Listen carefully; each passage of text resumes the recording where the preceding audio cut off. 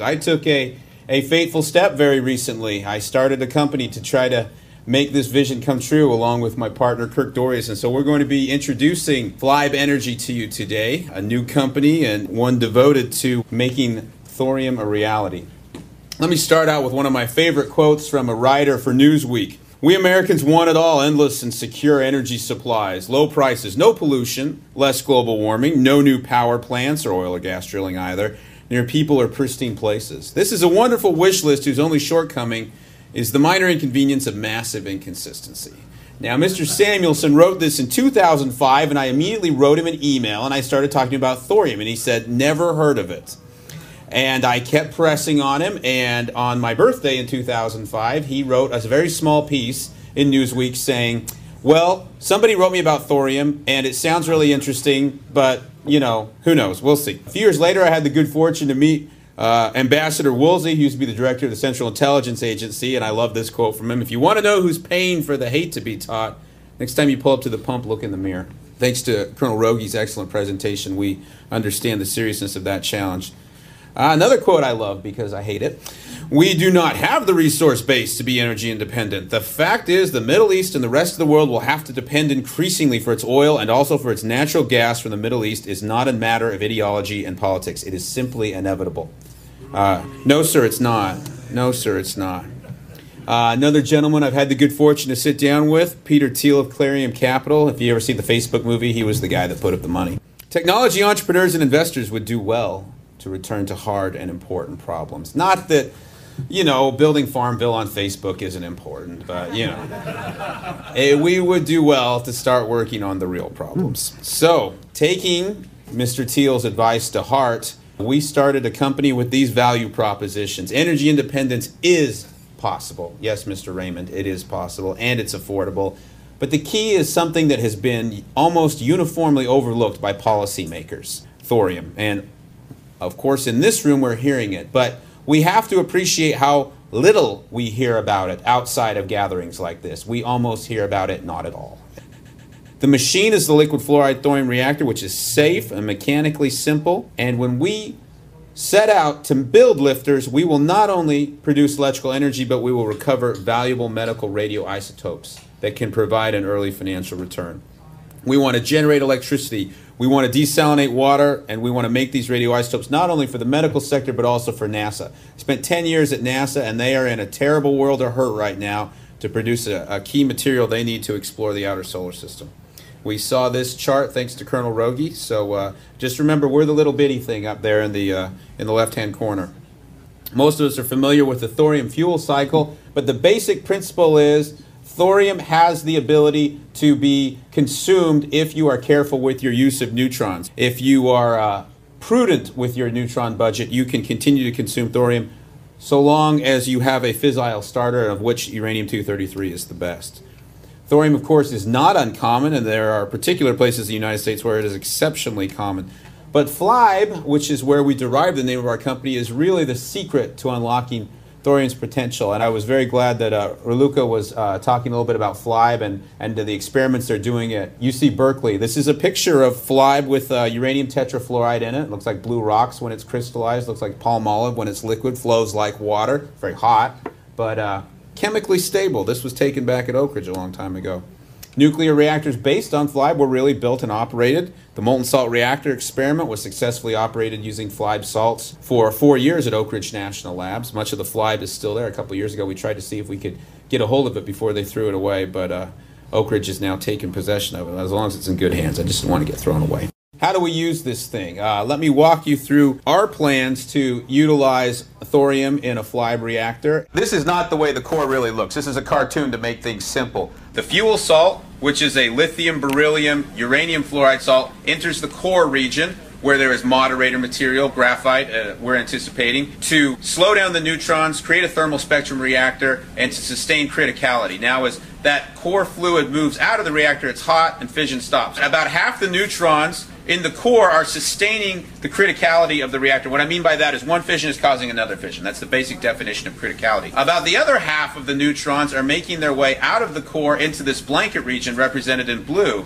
And that's where the magic happens with thorium. This is a FLIBE salt, lithium beryllium, thorium fluoride. Thorium's great at absorbing neutrons, it's great at absorbing gammas, and it's just what we want to uh, have absorb those neutrons so we can make new fuel. Small amounts of uranium tetrafluoride will begin to form in the blanket, and they can be extracted through a simple chemical process of fluoride volatility. This is where you expose the blanket salt to a small amount of a fluorinating agent, either a fluorine gas, perhaps nitrogen trifluoride. The basic principle is because thorium is tetravalent and only tetravalent, and uranium has multiple valence states, that's a very easy chemical way to separate it. So out will come uranium hexafluoride as a gas, and then you want to introduce it into the fuel salt. So you have a stream of fuel salt that will enter the reduction column by exposing UF6, hydrogen gas, and fuel salt together. You can get the hydrogen to go to two of those fluorines, stealing them from the UF6, and reducing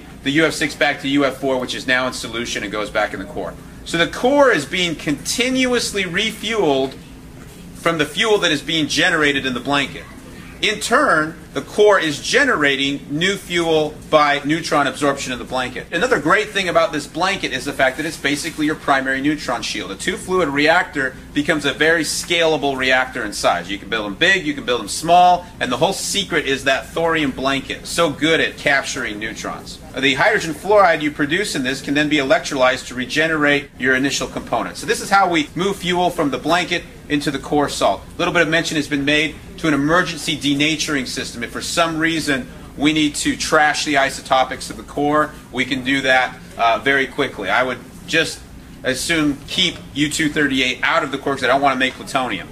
But if we need to do emergency denaturing, we can. Okay, in the core, we're sustaining these fission reactions. We're producing fission products. Perhaps periodically, perhaps continuously, we need to reprocess this core salt. That also takes place through a fluoride volatility process that will convert UF4 to UF6. We separate out the different hexafluorides. We put UF6 back into the core. All right, zooming out, so to speak, my favorite part, the mechanical engineering. Hot salt comes out of the core. It gives up its heat in a heat exchanger to a coolant salt. Uh, it could be bear fly, but could be uh, FLiNaK, uh, different salt possibilities. And then that gives up its heat to a hot gas that runs through, this is an extremely simplified version of our gas turbine. In reality, it's probably got multiple stages and, and, regenerators and so forth, but this is a super simple version. The gas is heated, it runs through the turbine, it's expanded, the gas emerges from the turbine, actually really goes into a regenerator, and then is cooled in a gas cooler before being introduced into the compressor. It is then repressurized and introduced again back into the regenerator and then into the into the heater. This spinning turbine, about half the power it makes turns the compressor, the other half turns the generator, producing power for the grid. The significance of the gas turbine is we can hit high efficiencies with a gas turbine. Water is not a good working fluid, a steam turbine for this kind of technology. This kind of technology is going to be operating up in the 1000 K temperature range way beyond where we go with water. That's what enables you to hit up in that 50% conversion efficiency. That reduces the amount of heat you're going to have to reject to the environment. Even more significantly, the heat you are going to reject to the environment can then be used for desalinization. When we condense steam right now at a relatively low temperature, we can't use that effectively for desalinization. As we cool a gas, as it drops from about 100 C to about 30 C, we can drive a desalinization system with that. And Dr. Per Peterson's done some great work looking at how we couple gas turbines to desalinization systems. Another compelling uh, product that can be generated from this technology. But mainly, we're out to make electricity, we're out to run the grid. When we want to run a pressurized water reactor today for a year, it takes about 250 tons of natural uranium. We enrich it, we put it in the reactor, we expose it for a while. Uh, we burn up most of the U-235 in it, make some plutonium, make some fission products, but most of it's still unburned fuel. And we take it out because the fuel has sustained radiation damage it's cracking, it's swelling, it's not going to stay in there any longer. Plus, it's not breeding enough fissile to continue its consumption. We don't, we don't make more fuel than we consume. On the other hand, in a lifter, we introduce thorium into the blanket, as I mentioned earlier, and the end product is a ton of fission products. We keep the transuranics and the actinides out of the waste stream, and that's very significant from a waste disposal perspective because that's what drives your waste disposal criteria. These fission products are decaying quickly uh, not even within 10 years, within just a few months, two of the most important ones, xenon and neodymium, are both stable and can be partitioned and sold. At NASA, we love xenon because we use it to explore the outer solar system and uh, run ion engines on it. When I made this chart, I said, well, this is the real waste. Actually, I've come to think, in a lot of ways, the, uh, the remaining fission products could still be extremely useful. We've been talking about passive safety in the lifter community for a very long time. After Fukushima, a lot of people started to pay much greater attention to this aspect of the reactor, but we are no Johnny come lately to this. In fact, this was all come up with long before I was ever even born. This was demonstrated back in the 60s with the molten salt reactor experiment. The whole idea of using this liquid salt, having a freeze plug where a blower would freeze a plug of salt in the line. If you lose all power, that freeze plug will melt, the salt will drain into a drain tank where now passive approach to decay heat removal. You know, you're maximizing heat transfer to the environment, whereas you're trying to minimize it in this reactor. It's a reactor that can downshift fundamentally to a completely different mode and achieve a staggeringly impressive level of safety, even if there's physical damage to the reactor. See that catch pan? Everything is there to direct the fuel into the drain tank and into a passively cooled configuration. We can't say enough about this feature and it is unique to liquid fueled reactors and particularly unique to liquid fueled reactors that have elevated uh, melting temperatures. So even though we have to get the salt hot before it melts, that's the very feature that makes the freeze plug and drain tank work. So there's goods and bads with all of this. We talk about medical radioisotopes for a little bit because this is uh, an important aspect. I've mentioned molybdenum 99. Let me talk about bismuth 213. There's four natural decay chains of alpha emitting radioisotopes. One starts with U238, U235, thorium 232, and then there's one that's extinct because it has no long lived precursors on it. It was there in the supernova billions of years ago, it's gone now, and it is on the U233 decay chain. There is a special product on there, bismuth 213, that could be a smart bomb against cancer. They attach the bismuth 213 to an antibody. It seeks out the cancer cell, binds to it, and that alpha emitter delivers a knockout blow to the cancer cell. This is a very, very targeted application of uh, radiopharmaceuticals. I know we have two radiation oncologists in the room today, so forgive me if I'm if I'm uh, not describing this quite right, but I've, I, I sometimes even lay in bed thinking, you know, if my kid had uh, leukemia, how hard would I be working on getting this therapy ready for them to save lives? And if it's that important, why aren't I going full bore on it right now? This is a great technique against dispersed cancers. And again, I hope I don't get out of my out of my lane here. But from what I understand, if you've got a dispersed cancer, this is the approach you want to take to, to go after it. And uh, there's only one way to get this material. It's, it's a, there's a uranium-233 inventory at Oak Ridge. We need it to start lifters, and we also need it to go and extract this life-saving uh, medical radioisotope. So remember, bismuth-213. People have known about it for a long time. Look at the time on this report, March 2001. Actinium and bismuth-213 are currently extracted from purified thorium-229. And the, the real trick here is to remember, every time you have an alpha decay, that number goes down by 4. So 233 minus 4 is 229. So all these guys are on the same decay chain. The only practical way is to get this from the natural decay of thorium-229, and it is only produced from the natural decay of 233. It's very potent. We only need on the order of a billionth of a gram to treat a patient. We need to go get this stuff, and we will do it in the course of making Lifter a reality. Another thing near and dear to my heart after time at NASA these radioisotope thermoelectric generators are based on plutonium-238, and this is the only way that we've been able to explore the outer solar system. The United States is unique, the only country in the world that has sent space probes beyond the asteroid belt.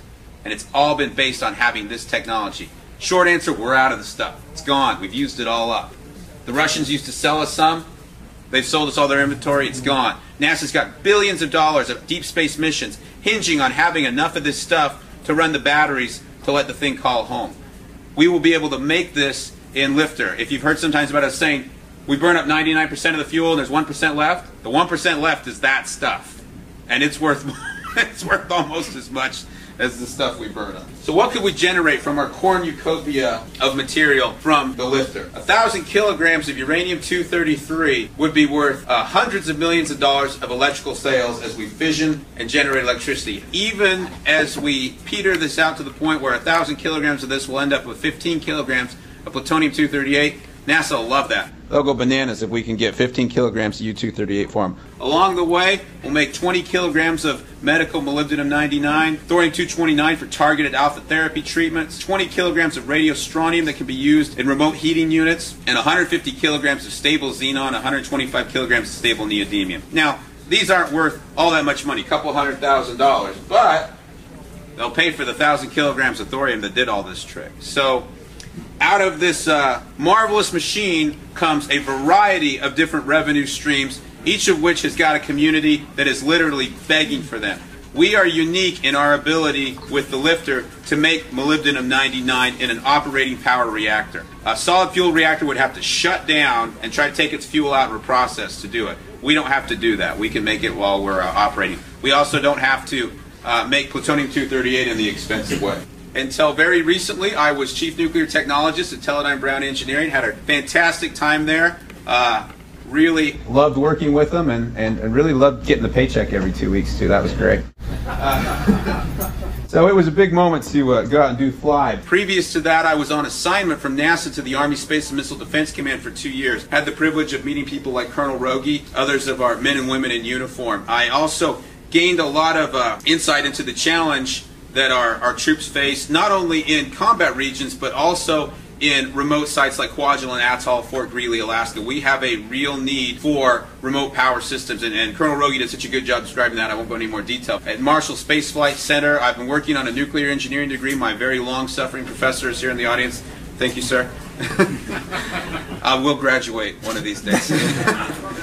Previous to that, got my aerospace engineering degree from Georgia Tech. I want to introduce my partner, Kirk Dorius. We were uh, both graduates of Utah State University and, and, and friends there, and uh, he went on to uh, pursue a lucrative career in the uh, law profession. So briefly... We're not done. Oh, we're not done. So briefly, Kirk and I uh, have known each other for about 20 years. We started engineering together in the early 90s, and uh, after we parted ways at the end of engineering program, I went on to work at Boeing Studied patent law at the University of New Hampshire, including a stint at Tsinghua Law School in Beijing, studying international patent policy and law. Although we have only recently incorporated, we are actively pursuing strategic industry and research partnerships. We have an ambitious development program to at least have demonstration criticality in June 2015, the 50th anniversary of when the Oak Ridge National Lab reactor went critical. And to address some of John's comments about the likelihood of uh, the United States capturing this intellectual property and commercializing Lifter. Uh, intellectual property is one of my main hats I'm wearing for Flibe Energy, along with business development and engineering. And uh, to address Rusty, I will keep him out of trouble on export control as well. And we have plenty to do. We're working on it. And uh, we'd like to give you our first uh, mainstream media introduction to Flibe Energy.